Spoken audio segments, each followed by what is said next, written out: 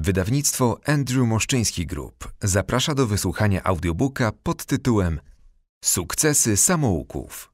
Królowie wielkiego biznesu. Czyta Aleksander Bromberek. Nie ma rzeczy niemożliwych. Są tylko trudniejsze do wykonania. Aleksander Wielki. Wstęp. Edukacja, szkoła, kształcenie. Wielu z nas ma niezbyt dobre skojarzenia związane z tymi pojęciami. Dlaczego? Skoro pedagodzy i psychologowie zgodnie twierdzą, że dzieci posiadają naturalną chęć uczenia się. Gdzie się ta chęć podziewa? Badania przeprowadzone w jednym z państw dowiodły, że wśród dzieci pięcioletnich jest 98% geniuszy, zaś wśród piętnastoletniej młodzieży zaledwie 10%. Wygląda na to, że kreatywność, radość odkrywania i tworzenia gubią się gdzieś w trakcie nauczania szkolnego. Jak to się dzieje? Prawdopodobnie jest to przede wszystkim wynik systemów nauczania, które panują w dużej części świata, opartych na oświeceniowym przekonaniu, że rodzący się człowiek to tabula rasa, czysta tablica, którą można dowolnie zapisać. Na tej bazie powstała koncepcja szkoły publicznej, darmowej i obowiązkowej, którą charakteryzowały dyscyplina, posłuszeństwo i autorytaryzm. Panujący zaczęli zdawać sobie sprawę, że inwestycja w oświatę, jak dziś byśmy powiedzieli, opłaca się. Zrozumieli, że poprzez wpajanie wybranych idei można doprowadzić do tego, by naród był potulny, bez szemrania wykonywał polecenia i z chęcią szedł na wojnę. A wszystko to pod pozorem równości – System tego typu najpełniej rozwinął się w XIX-wiecznych Niemczech Bismarcka i został przejęty przez niemal cały cywilizowany świat. Przypominał trochę taśmę produkcyjną, bo zakładał, że wszystkie dzieci w tym samym czasie powinny opanować ten sam materiał określony programem, do którego wytyczne układali nie pedagodzy, lecz urzędnicy. Celem bowiem nie było szczęście jednostki i jej rozwój, ale wyprodukowanie posłusznych obywateli, którzy nie będą się buntować, tylko grzecznie realizować cele państwa. Czy taka szkoła się sprawdziła? Z dzisiejszego punktu widzenia można powiedzieć i tak, i nie. Tak, bo mamy za sobą całe pokolenia ludzi, którzy zdobyli jednak jakąś, często nawet sporą, wiedzę, a których nie byłoby stać na opłacenie nauki nawet tak podstawowych umiejętności jak czytanie, pisanie i liczenie. Nie, bo w wyniku wyznaczonych przez szkołę sztywnych ram cywilizacja została pozbawiona całej masy twórców, wynalazców i przedsiębiorców, którzy nie mieli szansy odkrycia swoich talentów – bo myśleli inaczej niż zakładały to programy szkolne. Młodzi ludzie wychowywani i kształceni w środowisku, w którym stale słyszeli, że są niewystarczająco dobrzy, nie próbowali nawet wytyczyć własnych celów. Fabryka posłusznych obywateli zabrała wielu z nich także coś jeszcze bardziej istotnego wiarę w siebie i radość życia. Zawsze jednak byli tacy, którzy zdołali albo wyłamać się z systemu i pójść własną drogą, albo, zostawiwszy na boku system, odnaleźć swoje miejsce w zupełnie innej branży niż ta, do której się kształcili. To samoucy. Warto przyjrzeć się ich drogom życiowym. Inspirujące biografie ludzi przeróżnych profesji mogą pomóc każdemu z nas bez względu na aktualną pozycję zawodową, wiek i stan majątkowy znaleźć w sobie motywację do przełamywania stereotypów i osiągania celów wbrew niesprzyjającym okolicznościom, wbrew negatywnym ocenom i prześmiewczym opiniom. Zaczynam od przedstawienia samouków przedsiębiorców. Dlaczego właśnie od ludzi biznesu? Pierwszym powodem jest mój przykład. Sam od 30 lat jako samouk zajmuję się biznesem. Od kiedy pamiętam, interesowały mnie życiorysy podobnych do mnie ludzi. Wydaje mi się, że do biznesu miałem pociąg już od mniej więcej siódmego, ósmego roku życia. Marzeniem moim było uruchomienie już w wieku 18 lat pierwszej firmy. Nawet nie wiem, kiedy upłynęło 30 lat mojej wspaniałej drogi biznesowej. Jest i drugi powód zgłębienia życia samouków przedsiębiorców. Otóż nauczanie przedsiębiorczości w systemie szkolnym prawie nie istnieje. Szkoła przygotowuje nas celowo, raczej do roli odbiorców i konsumentów niż twórców. Przygotowuje do szukania roboty, a nie rozwijania pasji w taki sposób, żeby stała się jednocześnie źródłem zarobku. Efekt? Miliony ludzi, którzy z przykrością wstają do pracy i z ulgą z niej wracają, tracąc jedną trzecią życia na zajęciu niesprawiającym im żadnej przyjemności. Samoucy przedsiębiorcy to bardzo szeroka grupa ludzi. Znacznie liczniejsza niż 50 osób, których biogramy są opisane w niniejszej książce. Większość spośród opisywanych przedsiębiorców samouków to ludzie od dziecka mierzący się z trudnościami. Niektórzy, jak Andrew Carnegie, Walt Disney czy John Davison Rockefeller, pochodzili z ubogich rodzin. W przypadku Nathana Dartiego, Kerkora Kerkoriana, Kerka oraz wielu innych były to dodatkowo rodziny emigrantów zmuszonych do opuszczenia ojczyzny w poszukiwaniu lepszego losu bądź uciekający przed prześladowaniami. Dzieci z takich rodzin często porzucały szkołę. W przeważającej liczbie przypadków nie miały na nią czasu, bo w godzinach wolnych od zajęć, zamiast odrabiać lekcje, zarabiały na potrzeby rodziny. Pracować musiał Jean-Claude Bourrelier, twórca Bricoramy, Milton Hershey, potentat czekoladowy, czy Henry Royce, którego nazwisko na zawsze będzie związane z luksusowymi samochodami. Tylko nieliczni jak Bill Gates czy Anna Wintour nie zaznali w dzieciństwie biedy. Jednak szkoła żadnej z tych grup przyszłych miliarderów nie miała zbyt wiele do zaoferowania, bo nie odpowiadała ich potrzebom. Uczyła teorii, a nie praktyki. Dlatego przedsiębiorczości, znajomości branży czy tajników handlu uczyli się od pierwszych pracodawców albo, chyba nawet częściej, na własnych błędach. Mimo różnic w pochodzeniu, stopniu zamożności czy miejscu zamieszkania, wszystkie te postacie łączy nastawienie do życia, a przede wszystkim determinacja w osiąganiu celów, entuzjazm, kreatywność, śmiałe marzenia. Karl Albrecht, twórca sieci sklepów Aldi, mówił: Zawsze wierzyłem w swoje pomysły i konsekwentnie je realizowałem. To było tak oczywiste, tak łatwe, że każdy mógłby to zrobić. Mary Kay Ash, twórczyni firmy kosmetycznej działającej w systemie sprzedaży bezpośredniej, doradzała: Nie ograniczaj się. Wielu ludzi ogranicza się do tego, co wydaje im się, że mogą zrobić. Nie wiedzą, że mogą zajść tak daleko, jak daleko pozwala im na to wyobraźnia. Pamiętaj, jeśli w coś wierzysz, możesz to osiągnąć. Sukces materialny nie oznaczał jednak automatycznie odczuwania satysfakcji z życia, bo w pojęciu tym mieści się jeszcze cała sfera duchowości, szczęśliwa rodzina, grono oddanych przyjaciół i ludzki szacunek. Niektórym przedsiębiorcom, samoukom takie pojęcia jak wydajność, pomnażanie pieniędzy czy sukces materialny przesłoniły to, co najważniejsze. Potrafili być bezwzględni i nadmiernie wymagający, zarówno od siebie, jak i od innych. Tomasz Bata, Czech, którego buty zna cały świat, swoje życie podporządkował celom zawodowym. Uważał, że rzeczywistości nie można ulegać, należy ją umiejętnie wykorzystywać do swoich celów. Zerwał więc ze swoją narzeczoną, gdy się okazało, że nie będzie mogła mieć dzieci.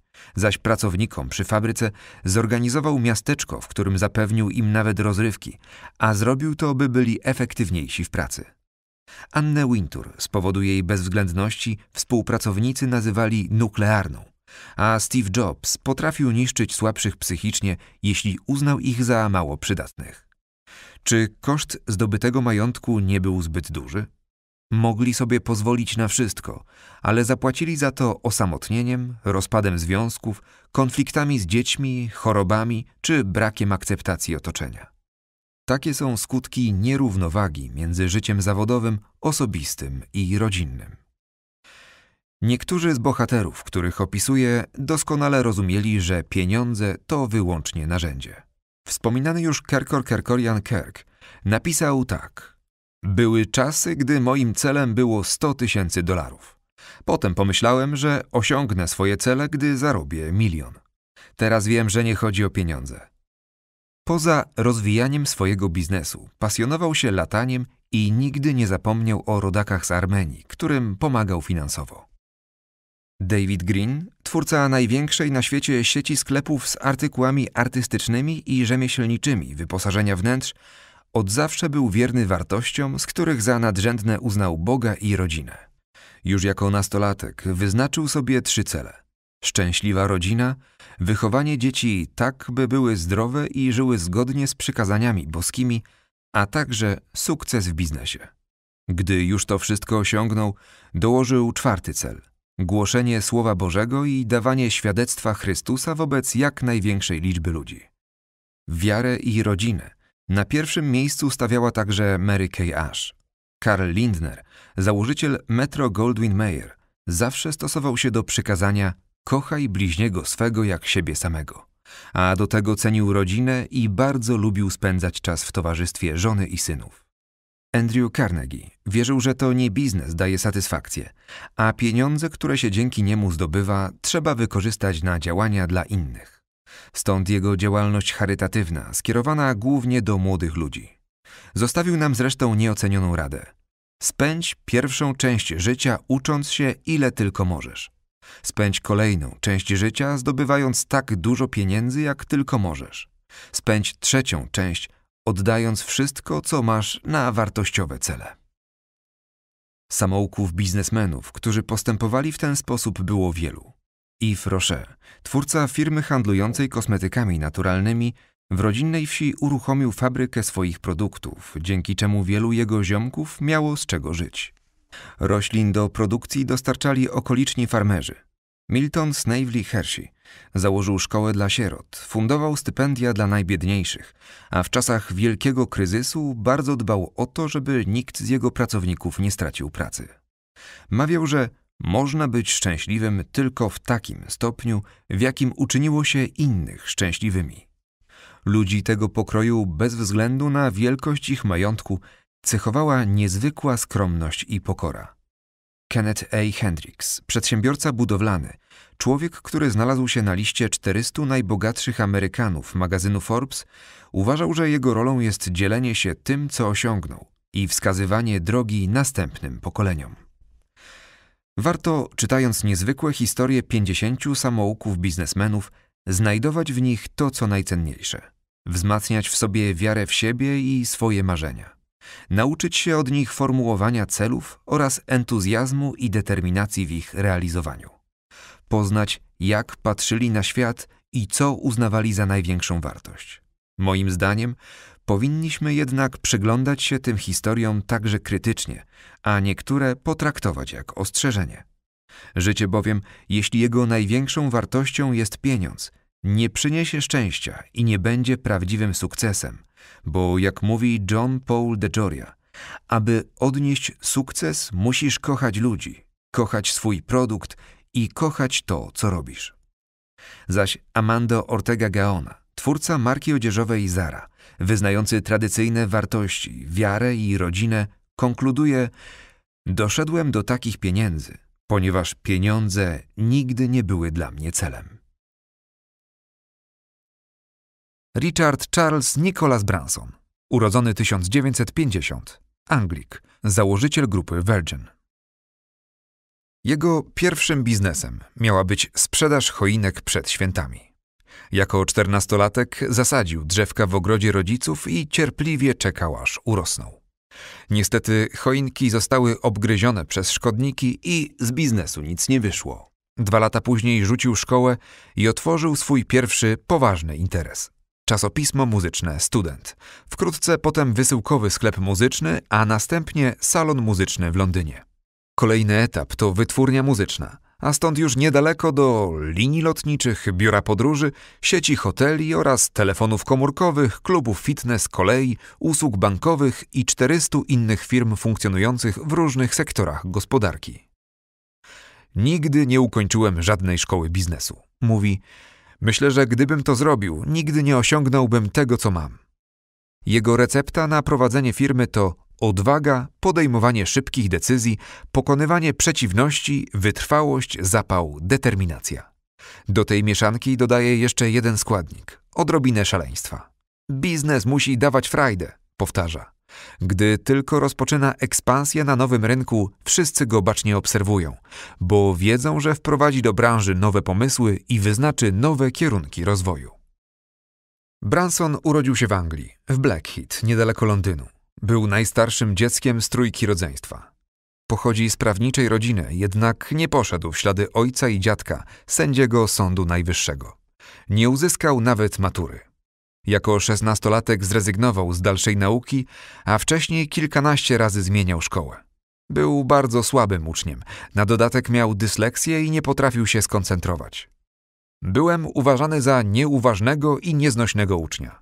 Pisze w swojej książce Like a Virgin, czego nie powiedzą ci w szkole biznesu. Wszyscy, począwszy od dyrektora, a na woźnym skończywszy, prawdopodobnie z ulgą przyjęli moją decyzję, że rzucam szkołę i będę realizował swoje ówczesne marzenie, by wydawać własną gazetę o nazwie Student.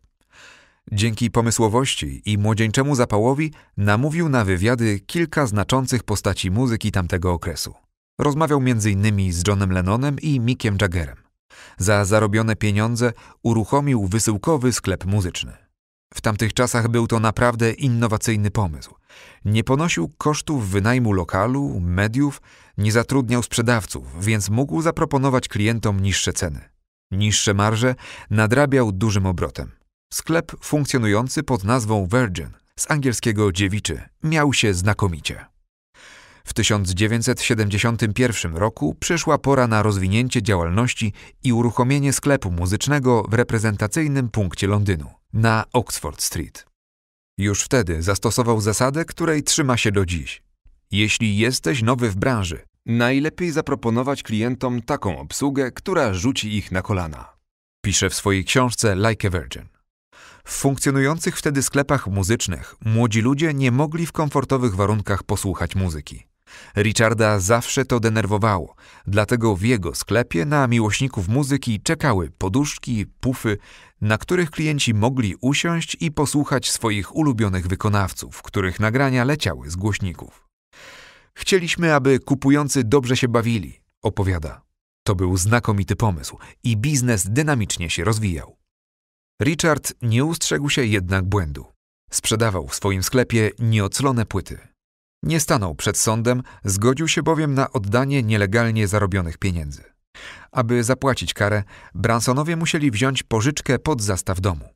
Richard dostał od życia drugą szansę. Pamiętał o tym przy prowadzeniu kolejnego biznesu wytwórni płytowej Virgin Records uruchomionej w 1972 roku. Wtedy to jeden z jego podwładnych, odpowiedzialny za pozyskiwanie do wytwórni młodych, obiecujących zespołów, zaczął na swoje konto sprzedawać okolicznym sklepom płyty będące własnością Virgin Records. Gdy sprawa wyszła na jaw, wszyscy spodziewali się, że Branson wyrzuci nieuczciwego pracownika. On jednak postanowił dać mu drugą szansę, tak jak kilka lat wcześniej jemu samemu dał brytyjski wymiar sprawiedliwości. Obdarzony zaufaniem pracownik opamiętał się. Płyty przestały znikać z wytwórni. Okazane zaufanie się opłaciło. Virgin Records okazała się żyłą złota. To w jej studiu swoją pierwszą płytę nagrał Mike Oldfield, a jego album Dzwony rurowe rozszedł się w nakładzie 5 milionów egzemplarzy. W 1977 roku wytwórnia wsławiła się podpisaniem kontraktu z grupą Sex Pistols, której muzyką nie chcieli się zajmować inni wydawcy. Wytwórnia Bransona podpisała z czasem kontrakty m.in. z The Rolling Stones, Brianem Ferrym, Simple Minds, Janet Jackson, Genesis. Myślenie w ogromnej skali, przekraczanie kolejnych granic i przyjmowanie nowych wyzwań znowu przyniosło sukces. Kolejnym udanym przedsięwzięciem Bransona było uruchomienie linii lotniczych Virgin Atlantic. Dlaczego linie lotnicze? Bo Branson wchodzi w te biznesy, które go pasjonują Pieniądze są na dalszym planie. Do działania motywuje go dziecięca ciekawość. Chce się uczyć, dowiadywać czegoś nowego, wymyślać nowe rozwiązania i obserwować, jak działają. Jego inspiracją we wprowadzaniu nowatorskich zmian w każdej niemal branży jest obsługa klienta. W wielu firmach jest ona na niskim poziomie i niewiele trzeba zrobić, by pozytywnie wyróżnić się na tle konkurencji. W przypadku linii lotniczych potrzebnych było kilka elementów. Zmiany zaczęto od tego, że załogi samolotów Virgin Atlantic były po prostu bardzo miłe i pomocne pasażerom. Zgodnie z zasadą Bransona należy zawsze wyprzedzać trendy i w ten sposób zostawiać konkurentów o całe lata za sobą. Jego linie jako pierwsze miały ekrany do indywidualnego oglądania filmów podczas lotu. Dopóki nie było technologii montażu ekranów w zagłówkach, po prostu rozdawano wszystkim pasażerom odtwarzacze przenośne.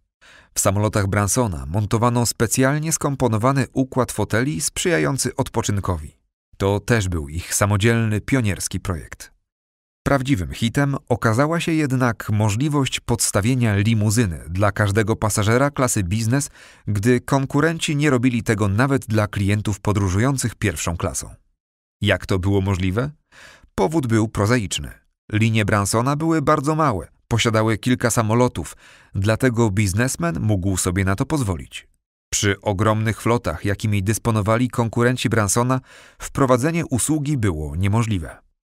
Te zmiany pozwoliły Bransonowi zauważyć i przyswoić sobie jeszcze jedną biznesową zasadę.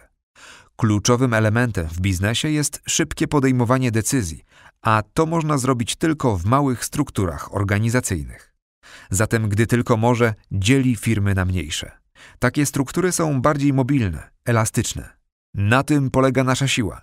Konkurencja robi piątą naradę w tej samej sprawie, a my już wdrażamy w życie nowe pomysły, mówi.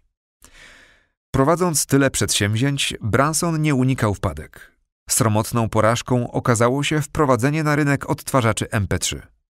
Apple zmiotło z rynku nowego konkurenta.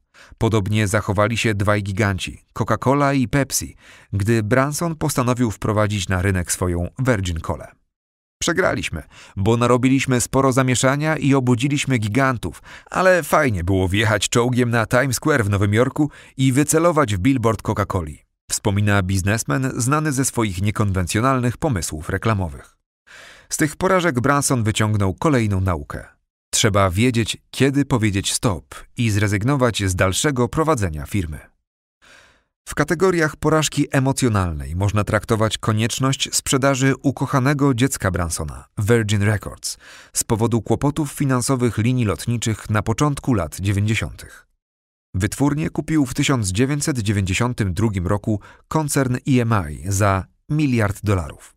Branson nie byłby sobą, gdyby nie wrócił na rynek muzyczny. Kilka lat później założył wytwórnię muzyczną V2. Anglik od zawsze stawia sobie ambitne cele i stara się je realizować z naddatkiem. Gdy tylko usłyszy, tego nie da się zrobić, wtedy wie, że to coś dla niego. Prawdziwe wyzwanie dla jego ambicji. Linie lotnicze to było dla niego za mało, więc w 2004 roku utworzył Virgin Galactic. Przedsiębiorstwo to ma w niedalekiej przyszłości oferować turystyczne loty kosmiczne. Ma już kilkaset osób chętnych, a bilet kosztuje 200 tysięcy dolarów. Swoje niestandardowe i innowacyjne podejście do biznesu zaprezentował przy okazji uruchamiania Virgin Mobile. To był pierwszy na świecie wirtualny operator telefonii komórkowej, nie posiadający własnej sieci przekaźników, tylko dzierżawiący sieci od innych. Obecnie działa w kilkunastu krajach. Sukcesem okazało się uruchomienie Virgin Holidays. Na początku firma miała tylko sprzedawać bilety lotnicze, ale tak się rozwinęła, że obecnie oferuje wakacje w najodleglejszych zakątkach świata dla najbardziej wymagających klientów. Można za jej pośrednictwem wykupić sobie na przykład urlop na prywatnej wyspie Richarda Bransona Necker na Karaibach za 30 tysięcy dolarów dziennie.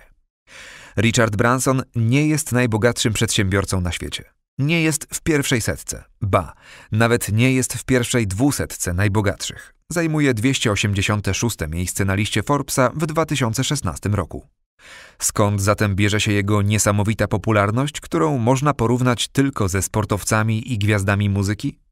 Bo jest odważny, nie boi się ryzyka, rywalizacji. Ma poczucie humoru i dystans do siebie, co w świecie biznesu jest rzadkością. Przy każdym projekcie ustawia wysoką poprzeczkę, a potem osiąga jeszcze więcej. Nie ma dla niego rzeczy niemożliwych. Jest supermenem światowego biznesu. Całe życie przełamuje stereotypy i dokonuje fantastycznych rzeczy, znakomicie się przy tym bawiąc. Wszystko osiągnął sam, stosując własne innowacyjne rozwiązania. Uczy się cały czas na własnych błędach i publicznie się do nich przyznaje. Po każdej porażce wraca silniejszy i realizuje jeszcze ambitniejsze cele.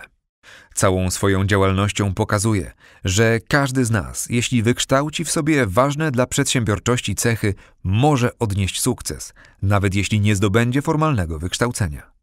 Jest drogowskazem dla setek tysięcy młodych ludzi, którzy marzą o własnych firmach i ambitnych projektach.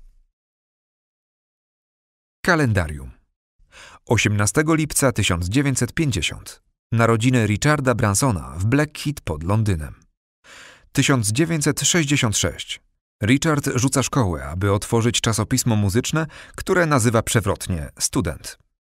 1969 uruchamia sprzedaż wysyłkową płyt, innowacyjny jak na tamte czasy projekt.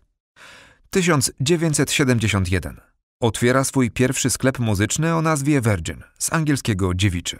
Dzieciaki mogą tam siedzieć i godzinami słuchać ulubionych płyt. 1972 w posiadłości zakupionej w Oxfordshire pod Londynem rusza studio muzyczne Virgin Records. Nagrywają w nim Mike Oldfield, Sex Pistols, The Rolling Stones. 1972. Ślub z Kristen Tomassi. Po siedmiu latach rozwiodą się, nie będą mieli dzieci. 1984. Startują linie lotnicze Virgin Atlantic. 1985. Branson debiutuje w branży turystycznej. Po kilku latach Virgin Holidays staną się jedną z najmocniejszych firm turystycznych w Wielkiej Brytanii. 1985. Nieudana próba pobicia rekordu szybkości przepłynięcia Oceanu Atlantyckiego. Superszybka łódź Bransona tonie, a on sam jest ratowany przez brytyjskich żołnierzy. 1986. Branson nie poddaje się i bije rekord na tej samej trasie w nowej łodzi. 1989. Ślub z Joan Templeman. Mają dwójkę dzieci. 1990. Utworzenie grupy Elders skupiającej liderów świata polityki i gospodarki, mającej na celu pracę nad największymi problemami obecnej cywilizacji. 1991. Szalony Anglik bije kolejne rekordy, tym razem w baloniarstwie. Najdłuższy przelot, blisko 11 tysięcy kilometrów z Japonii do Kanady oraz rekord prędkości w locie balonem 394 km na godzinę. 1992.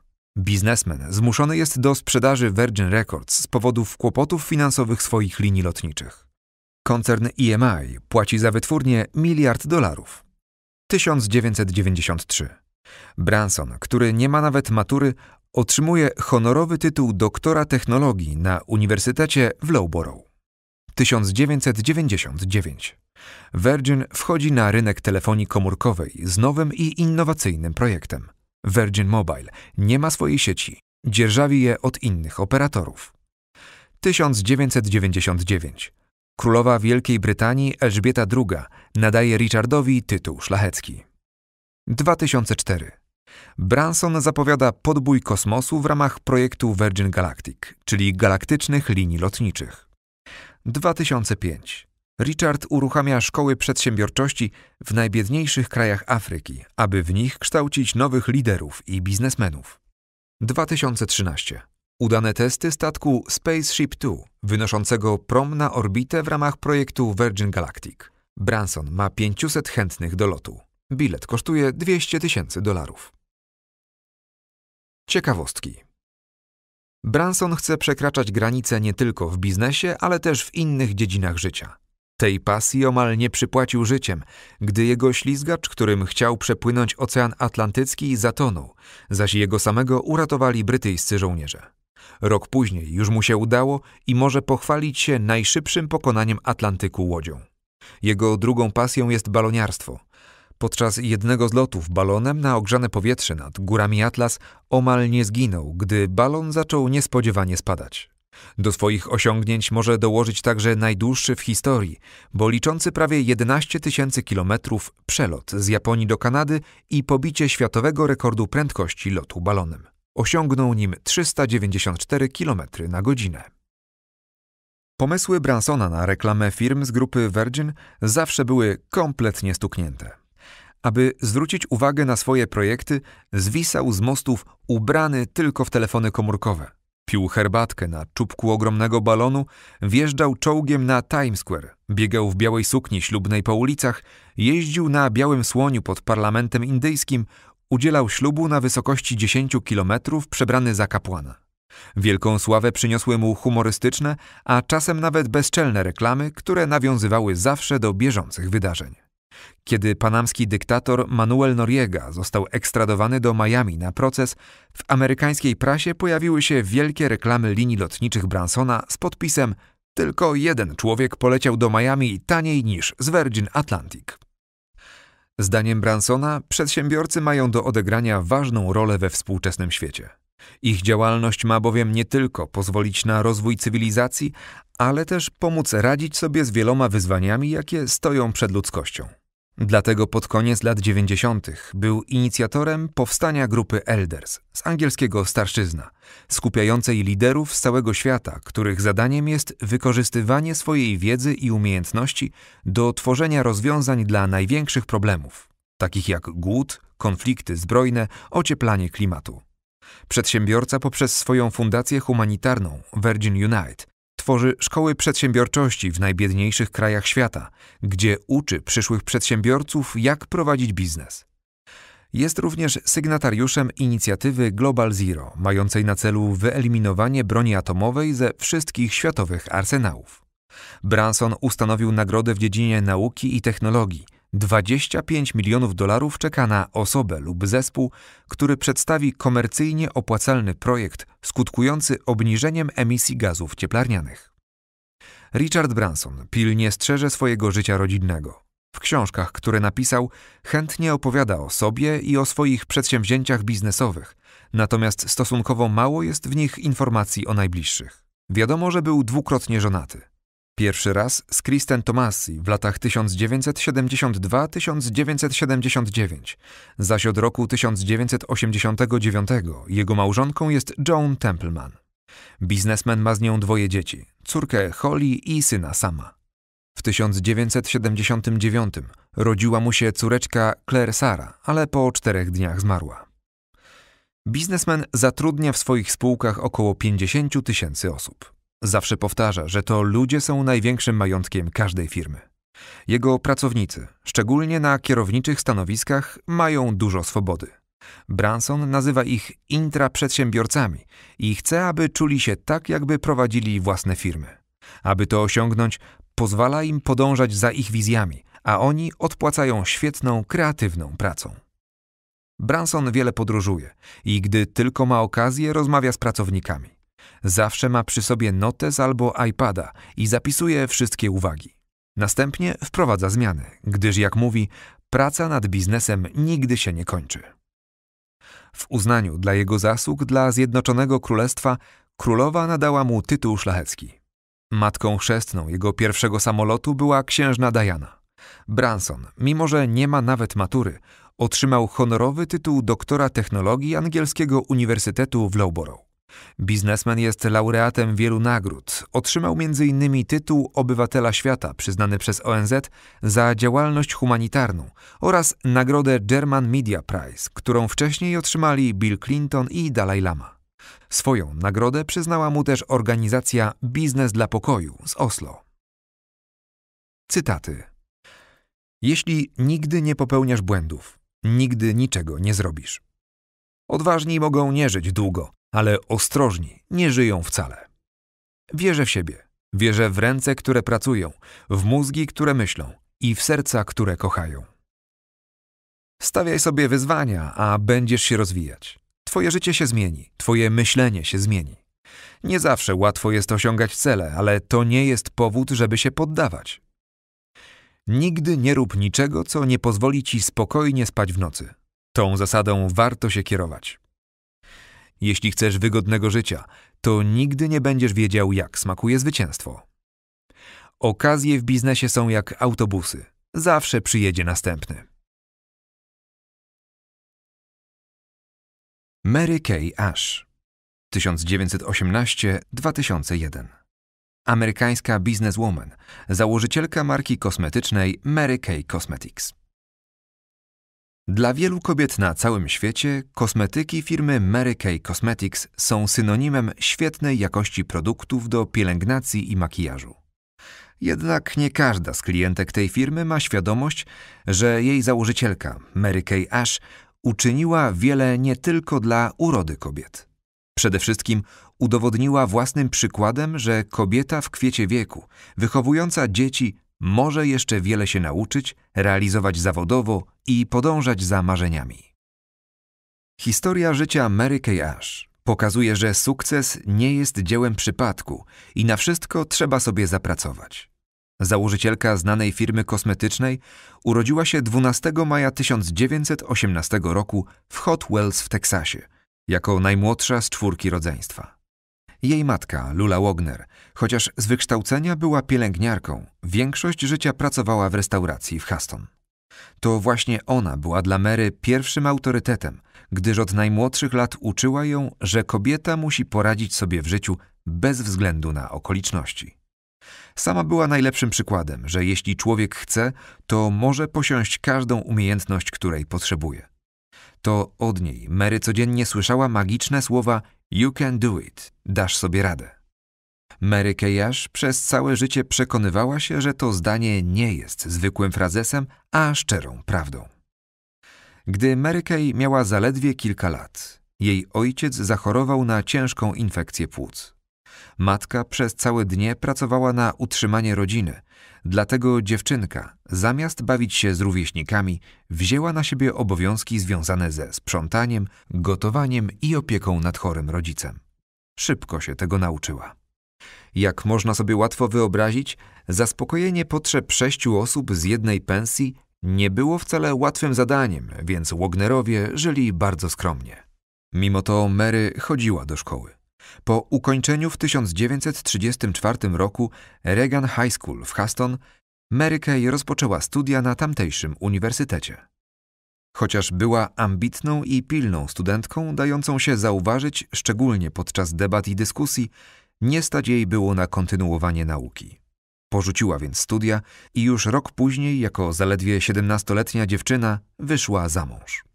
Chociaż związkowi z Benem Rogersem Mary zawdzięcza wspaniałe dzieci, nie było to udane małżeństwo.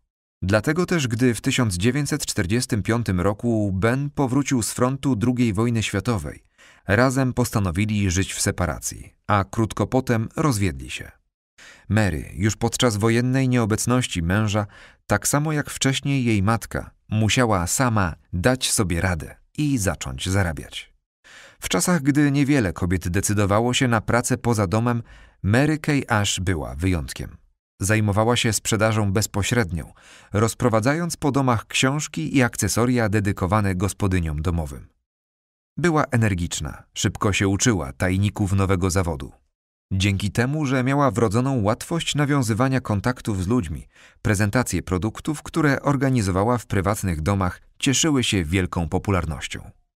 Mary lubiła swoją pracę i była w niej coraz lepsza, dlatego w 1952 roku przeszła do firmy World Gift Company, gdzie zaoferowano jej lepsze warunki. Obok wielu zalet, niezwykłej ambicji, oddaniu pracy i świetnych wyników sprzedaży, Mary miała też wadę. Była kobietą, więc traktowano ją jak pracownika mniej wartościowego i pomijano przy premiach i awansach. W tamtym czasie w społeczeństwie, pomimo powoli budzącego się feminizmu, istniało ciche przyzwolenie na gorsze traktowanie kobiet. Mimo, że kobiety miały już prawa wyborcze, gdy porównało się ich zarobki z zarobkami mężczyzn, stawało się jasne, że wciąż są obywatelkami drugiej kategorii. Mary Kay nie chciała zgodzić się na taki stan rzeczy kiedy kolejny mężczyzna, którego osobiście wyszkoliła, przekazując mu wszystko to, czego sama nauczyła się wcześniej, dostał awans szybciej niż ona, sfrustrowana postanowiła zwolnić się z pracy.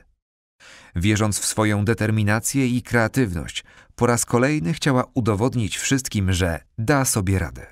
Wiedziała, że to możliwe, bo zdobyła już potrzebne doświadczenie, a jeśli trzeba będzie nauczyć się czegoś nowego, zrobi to jak wiele razy wcześniej.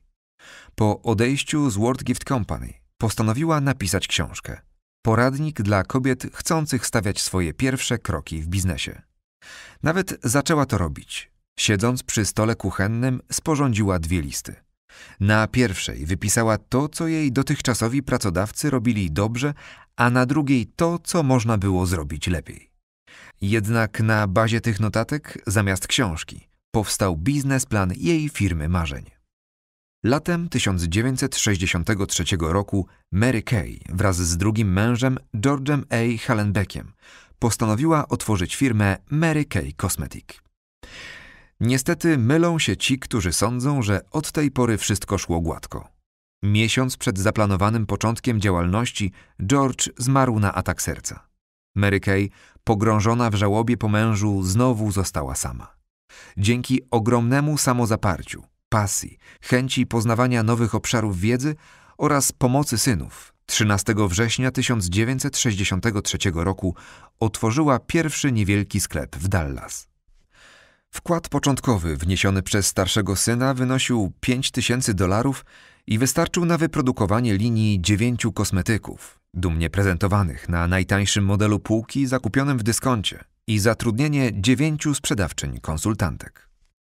Obserwując tak skromne początki, trudno uwierzyć, że dzisiaj firma Kay Cosmetics zatrudnia ponad 2,5 miliona kobiet na całym świecie. I tym razem słowa matki okazały się prorocze. Mary Kay Ash dała sobie radę. Firma Mary Kay Cosmetics od samego początku cieszyła się dużym szacunkiem i zaufaniem klientek, a wszystko to dzięki złotej zasadzie stworzonej przez założycielkę. Traktuj innych tak, jak sam chciałbyś być traktowany. Mary Ash konsekwentnie wcielała ją w życie. Produkty, które sprzedawała, były znakomitej jakości – a podjęte przez nią działania doprowadziły do zdobycia rzeszy zadowolonych klientek oraz wielu zmotywowanych, dobrze wynagradzanych konsultantek. Dlaczego Mary Kay Ash oparła swoją firmę na konsultantkach, a nie konsultantach? Było kilka powodów. Po pierwsze, zdawała sobie sprawę, że kobieta jako sprzedawca kosmetyków będzie znacznie bardziej wiarygodna niż mężczyzna. Po drugie, zobaczyła duży potencjał w kobietach, które w tamtym czasie w Stanach Zjednoczonych po wyjściu za mąż rezygnowały ze swoich aspiracji i ograniczały się do roli gospodyni domowej. Po trzecie, wiedziała z obserwacji i własnego doświadczenia, że kobiety powinny być samodzielne i niezależne, by mogły, podobnie jak ona, dać sobie radę w najtrudniejszej nawet sytuacji. Jej marzeniem było pomóc im to osiągnąć. Ogłosiła, że poszukuje energicznych i pełnych pomysłów kobiet na stanowiska konsultantek. Wkrótce zgłosiło się mnóstwo kandydatek gotowych sprawdzić swoje możliwości.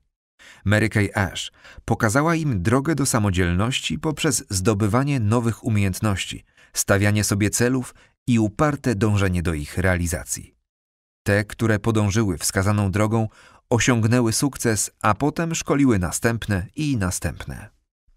Mary Kay Ash, kierując się złotą zasadą, doceniała swoje pracownice. Polityka motywacyjna jej firmy zawsze stała na najwyższym poziomie i była spełnieniem marzeń niejednego zatrudnionego. Najlepsze konsultantki w nagrodę za wyniki sprzedaży mogły liczyć na wakacje w pięciogwiazdkowych kurortach, diamentową biżuterię, a nawet różowe Cadillaki, które bardzo szybko stały się znakiem rozpoznawczym firmy. Pierwszym jeździła oczywiście sama Mary Kay, która namówiła dealera tej marki, by przemalował go na różowo. Miał pasować do palety kosmetyków używanych przez nią do makijażu. W 1969 roku takimi samymi pojazdami nagrodziła pierwszych pięć niezależnych dyrektorek sprzedaży. Osiągnięcia Mary Kay Ash szybko zostały zauważone w całych Stanach Zjednoczonych. Została uhonorowana wieloma prestiżowymi nagrodami. Między innymi w 1983 roku znalazła się na liście 100 najważniejszych kobiet w Ameryce, a w 2000 roku została uznana za najwybitniejszą kobietę w biznesie XX wieku. Jednak sukces zawodowy stawiała dopiero na trzecim miejscu. Za najważniejsze wartości w życiu uważała wiarę i rodzinę. W 1987 roku Mary postanowiła przejść na emeryturę i poświęcić się działalności charytatywnej. Fundacja Mary Kay od 1996 roku zajmuje się finansowaniem diagnostyki nowotworów kobiecych oraz otacza opieką ofiary przemocy domowej. Mary Kay Ash zmarła 22 października 2001 roku. Została pochowana w Dallas, w mieście, z którym była związana przez całe życie. Wiele konsultantek, które miały szczęście u niej pracować, pisało w internetowych komentarzach, że dała im znacznie więcej niż pracę. Wiarę we własne siły, pewność siebie i odwagę realizacji własnego pomysłu na życie. Często ta kobieta, która do swojej pozycji w znacznej mierze doszła dzięki chęci ciągłego rozwoju, nazywana jest mentorką w biznesie, co definitywnie potwierdza prawdziwość słów wypowiadanych przez jej matkę Lule Wagner. Mary Kay Ash dała sobie radę. Kalendarium 12 maja 1918 Narodziny Mary Kay Ash. 1934 Ukończenie Reagan High School. 1935 Ślub z Benem Rogersem. 1946 Rozwód z Benem Rogersem. 1952 Rozpoczęcie pracy w World Gift Company. Czerwiec 1963 Ślub z George'em Hallenbeckiem. 13 września 1963 Otwarcie pierwszego sklepu z kosmetykami w Dallas. 1966 Ślub z Melem Ashem. 1971 Otwarcie pierwszej filii zagranicznej w Australii. 1976 Wejście Mary Kay Cosmetics na giełdę nowojorską. 1980 Nagroda Golden Plate od American Academy of Achievement dla Mary Kay Ash. 1981 Ukazuje się autobiografia Mary Kay Ash 1983 Mary Kay Ash zostaje wymieniona w zestawieniu 100 najważniejszych kobiet w Ameryce. 1984. Ukazuje się bestseller Mary Kay on People Management. 1987. Przejście na emeryturę. 1996. Powstaje Fundacja Charytatywna Mary Kay. 2000. Tytuł najwybitniejszej kobiety w biznesie XX wieku od Lifetime TV dla Mary Kay Ash. 22 października 2001. Śmierć Mary Kay Ash. 2004. Pośmiertna Nagroda Róży za dobroczynność od Pałacu Kensington w Londynie. 2007. Produkty Mary Kay sprzedawane są w ponad 35 krajach świata. 2012. Przekroczenie liczby miliona fanów na Facebooku w Stanach Zjednoczonych przez firmę Mary Kay Cosmetics. Ciekawostki. Mary Kay Ash jest autorką trzech książek, w tym autobiografii o tytule Mary Kay. Wszystkie jej książki były bestsellerami. Do 1994 roku firma Mary Kay Ash sprezentowała swoim pracownicom 7 tysięcy różowych samochodów wartych ponad 100 milionów dolarów. Książka Mary Kay Ash Mary Kay on People Management została włączona do spisu lektur na kursie biznesowym w Harvard Business School. Firma Mary Kay Cosmetics jest uznawana za jedno z dziesięciu najlepszych miejsc pracy dla kobiet. Cytaty. Krytykuj czyny, nie osoby. Energia lidera jest energią drużyny. Każdy chce być docenianym, więc jeśli kogoś doceniasz, nie trzymaj tego w sekrecie. Nie ograniczaj się. Wielu ludzi ogranicza się do tego, co wydaje im się, że mogą zrobić. Nie wiedzą, że mogą zajść tak daleko, jak daleko pozwala im na to wyobraźnia. Pamiętaj, jeśli w coś wierzysz, możesz to osiągnąć.